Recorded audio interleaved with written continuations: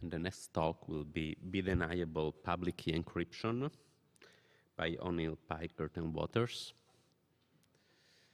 And, and Chris Peikert will give the talk. Okay. You uh, Thank you. Oh, my time's up already. oh, no, no, I'll, I'll fix that, don't worry. Thank you. You, This you is, can uh, start, don't worry, I'll give okay, you the full. okay. you'll- So this work is uh, bi-deniable uh, public key encryption with Adam O'Neill and Brent Waters. Um, so many talks start with a story, and this one is no different. Uh, today's story, Alice and Bob are siblings, and one of them's away at school, and they, they want to plan a party for their big brother for when Alice comes home to school. So uh, they're using public key encryption to keep their messages safe because uh, Big Brother is watching them. And uh, so Alice encrypts this message saying, let's have a surprise party for Big Brother. And, and Big Brother sees, uh, sees his traffic goes by, but it's encrypted, so he can't tell uh, what the message is. But uh, he's awfully curious about it. So when she comes home, uh, he kind of uses his prerogative as a Big Brother and twists their arm and says, hey, tell me your pub, you know, the coins that you used to encrypt this. And hey, Bob, tell me the uh, secret key that you used. And the party's now ruined. So that's pretty unfortunate uh, for everybody all around. so what we would like is, is something um, called bi-deniability. And we'd like a property like this that Alice can send Bob uh, a an encrypted ciphertext using some kind of deniably encrypted, uh, uh, deniably encrypted process, encryption process. And Bob should be able to decrypt Alice's message correctly. But if uh, Bob, uh, rather, if Big Brother comes around and tries to twist their arm, or maybe in advance anticipating that he might do so, Alice and Bob can prepare some fake encryption coins on the left and a fake secret key on the right, so that when Big Brother does come around and uh, they have to hand these, these keys and coins over, magically it looks like an innocuous message that everyone can agree on. Okay, so uh, looks the fake coins and keys actually make it look as if another message had been encrypted. Okay, and encrypted honestly. It's not like there's nothing suspicious about these coins and keys. Okay, so uh, an important fact is an important thing about the model we're considering is that the coercion is always after the fact. So Alice and Bob uh, are able to encrypt and decrypt, uh, you know, uh, not subject to any coercion, but then later on they might be coerced to reveal their coins. And this is really a kind of a dual concept to uh, something that um, and Tuinstra called uncoercible com communication, which would allow Alice, you know, when she's under control of, uh, of Big Brother, to send a message, but uh, secretly indicate that, hey, I'm, you know, I'm, I'm being coerced to send this message, so ignore it. Okay? So we're talking about after-the-fact coercion here today. So uh, there, you know, this is a kind of a toy example, but there are a lot of serious examples where uh, deniability might be, might be needed. Uh, kind of any kind of anti-coercion um, scenario. Roger Dingledine's talk gave countless uh, excellent examples of, of scenarios where people might be able, uh, might really need uh, deniability for their own safety uh, or security. Um, so for example, journalists or whistleblowers uh, really would, uh, who might want to keep their sources safe would definitely benefit well from deniability. These two fellows know definitely well. Or if you find yourself on a, a, with a different kind of big brother to deal with, you might need it. Uh, deniability has often been proposed for voting uh, protocols. And the basic idea is that, well, if you encrypt your vote, but then later on your, uh, your boss asks you to show how you voted, um, well, you could reveal any vote, so you know, there's no way to force you to uh, reveal your vote, or you couldn't be able to sell your vote. Come back to this um, question a little bit later. Uh, in terms of theoretical cryptographic concepts, it's a nice concept because it actually implies a strong notion called selective opening security for uh, encryption. And um, it also implies something called non-committing encryption, uh, which helps you design adaptively secure protocols. But it's, actually strictly stronger than both of these. In particular, uh, 4, property 4, it's stronger because the ciphertexts that are equivocable actually can be decrypted by real players. They're not just generated by a simulator, so they actually have real content behind them. Okay, so those are applications. Uh, there's been some prior work.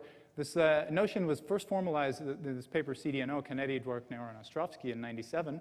And uh, they, they give nice definitions and uh, some feasibility results. They showed that sender deniable uh, public key encryption is possible. So it allows you to coerce only the sender, but not the receiver.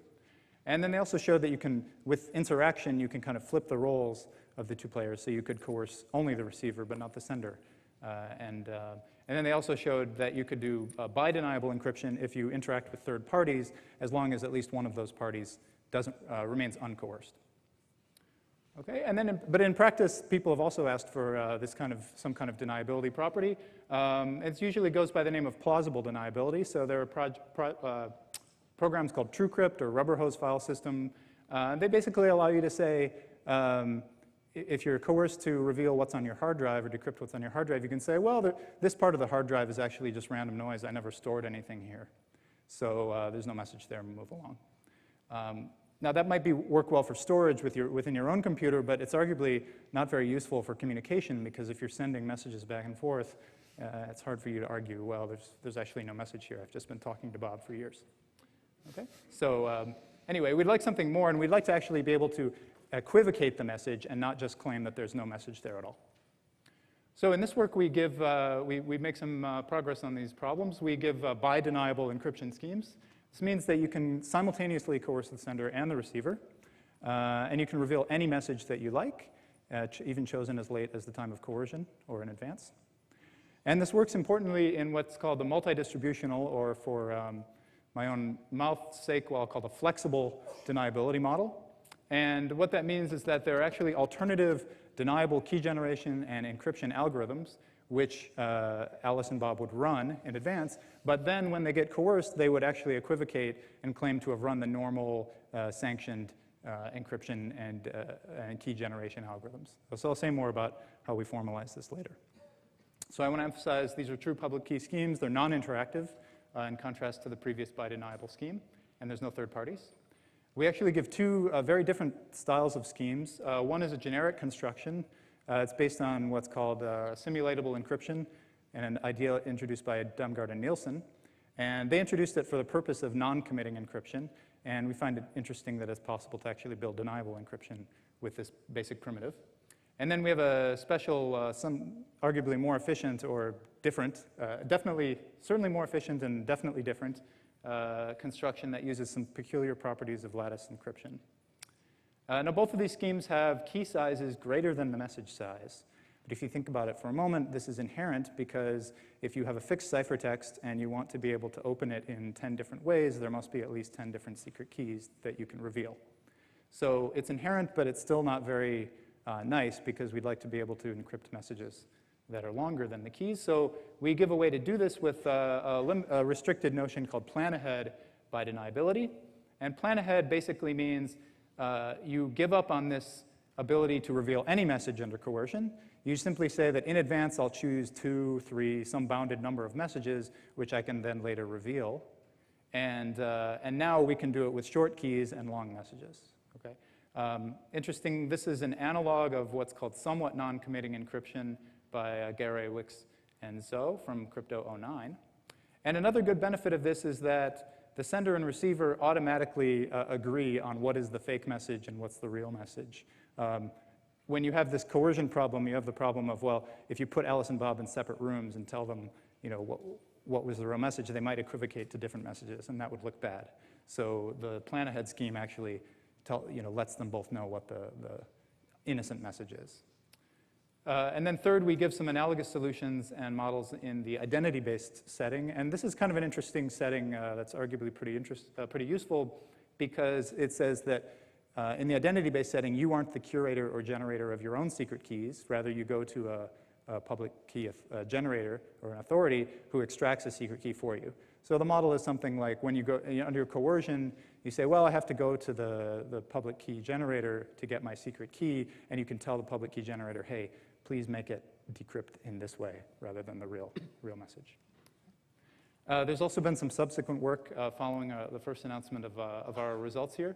So in the past uh, Eurocrypt, there was a uh, paper on interactive, an interactive scheme which gets full sender deniability. So not in the flexible model, but rather in the full, full deniability model. it uses an interesting primitive called sampleable encryption, which really looks like it solves the problem, um, but unfortunately, if you look very closely, there turns out to be a fatal bug. Uh, and it, for some reason, it, it, doesn't seem to be enough to, to solve the problem. So uh, full deniability is really a very interesting problem, even just for one side, even with interaction. Uh, it's a very neat problem. Uh, a second work, which will appear in um, the upcoming AsiaCrypt uh, by Bendlin et al. Uh, they actually show that fully receiver deniable encryption is, impossible. Um, so formally, that statement means if your secret key is only sigma bits long, then uh, there's always a way to distinguish between uh, real messages and faked messages with 1 over sigma distinguishing advantage. So basically, uh, there's no hope to get full receiver deniability if your scheme is non-interactive. Um, so this actually motivates why we really have to work in this uh, flexible deniability model. And so again, when faced with this impossibility, we don't deny it, we're just going to be flexible about our security notion. Okay, so this is the model uh, that we ask for, flexible bi-deniability. As usual, we have three uh, algorithms, so key generation, encryption, and decryption. And these three by themselves form a valid uh, encryption scheme. So decryption is correct, it's semantically secure, and so forth.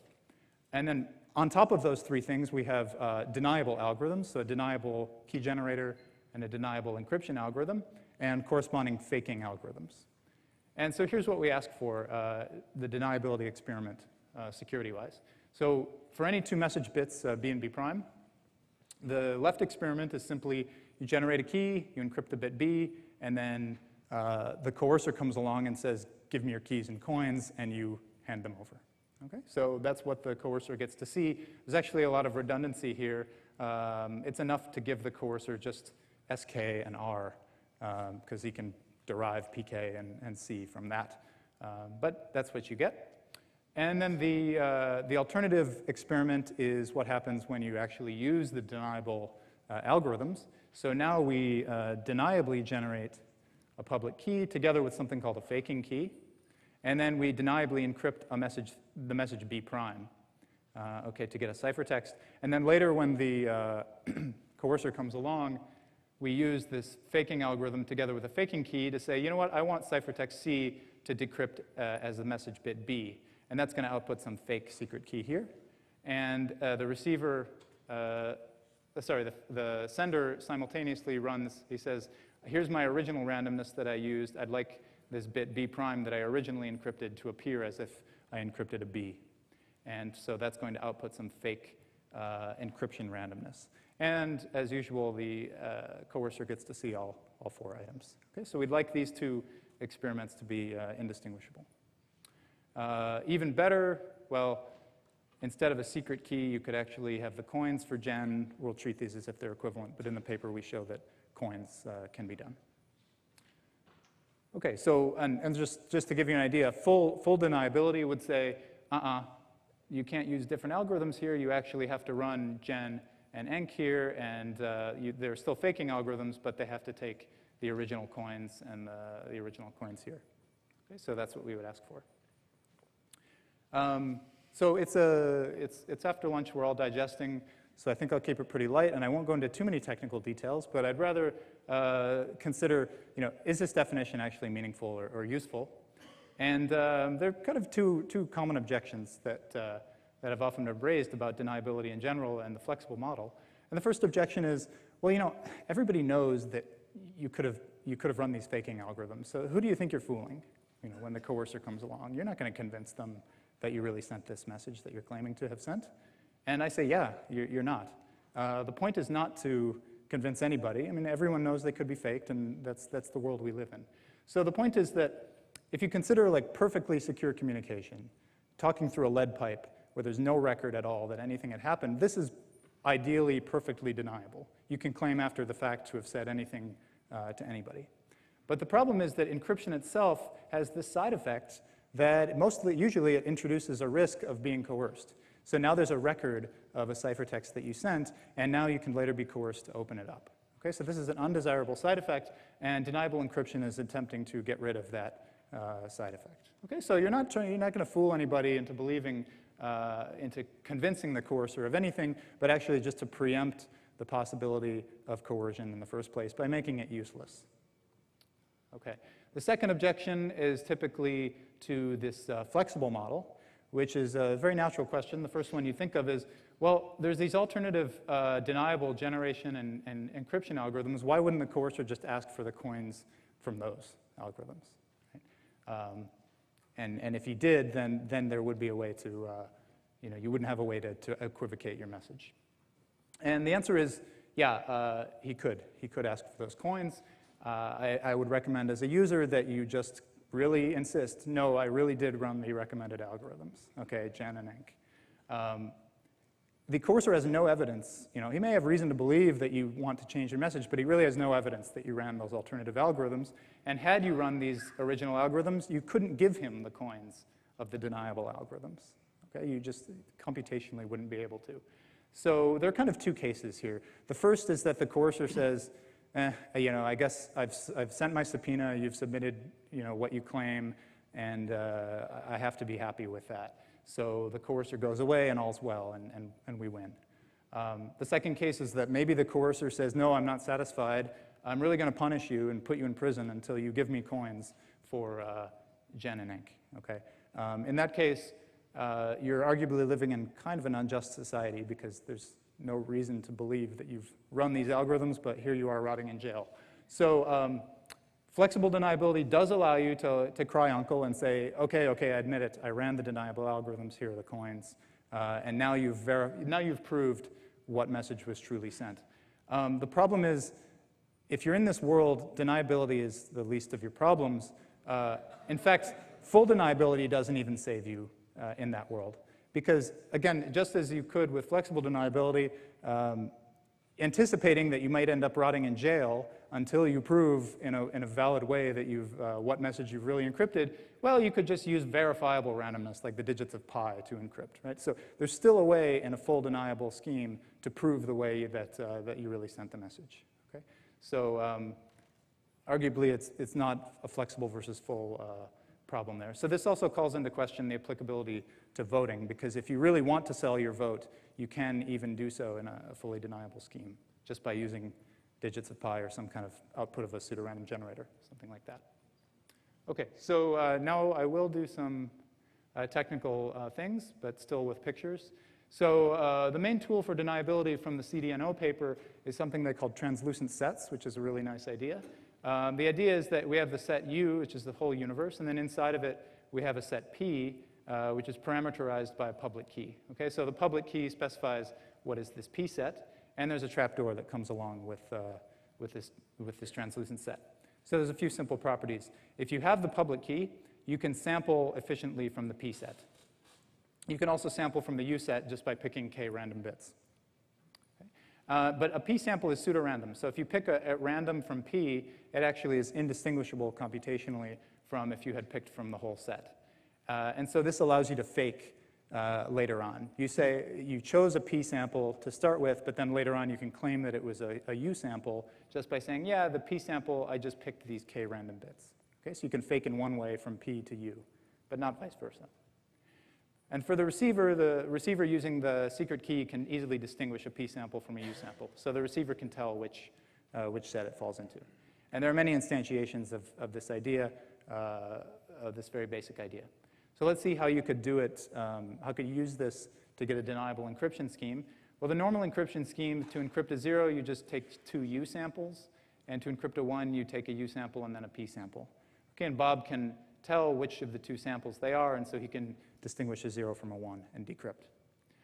Uh, on the deniable side, the deniable encryption algorithm, to encrypt a zero, he just takes two P samples instead. And for the one, it's the same as before. So let's see what happens. Uh, the coercer comes along and Alice can fake. So for any, you know, if the original message is zero or one, it doesn't matter. You can fake it as a, as a zero or a one in either direction uh, just by changing, claiming that P samples were actually U samples. Okay, so you can just check that all possibilities uh, are, are doable there. But if you coerce Bob, you get his secret key and uh, the, the true message is revealed. Okay, so we really need to work on the receiver side here. Um, so one of our contributions, this is one of the two um, uh, schemes, is something we call bitranslucent set. And it's to take care of this uh, receiver problem. So a public key now has many secret keys, and the p-tests are slightly different. So uh, this, you know, this secret key might call those values p samples, and this one might call those p samples. And so the idea is, if you pick a p sample, then most secret keys will uh, indeed classify it correctly. But uh, given the faking key, you can actually generate a secret key that makes uh, the P sample fall outside. So it forces, it makes it look as if uh, this P sample is actually a U sample. Okay, and so this allows Bob to fake a P as a U, and then using the previous encoding, everything works. So uh, instantiation uh, just uses the fact that uh, in the GPV identity-based encryption, you can cause a decryption error, but obliviously, so the user doesn't know it, which is kind of a, anyway, seemed like an annoying fact, uh, an annoying property that we're using for deniability. So uh, I have no time, so extensions, uh, just like I said, the plan ahead deniability is what, something we do, and full deniability is still a really uh, interesting open question. Thanks, I'll take your comments, questions.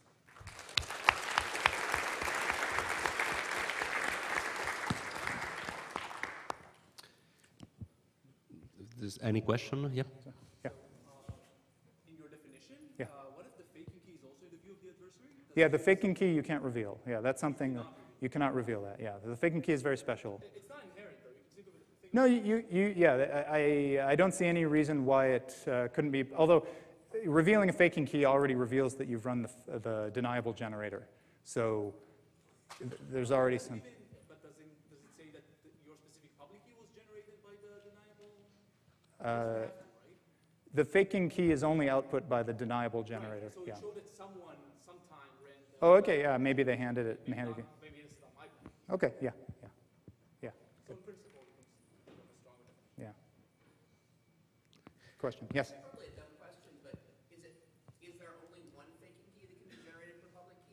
large number? There actually are a large number of possible faking keys for a, for a given public key. We don't use that property, but uh, it's true. So a coercer can't tell every user, generate a faking key and publish it with your public key? That's right. Okay. Yeah.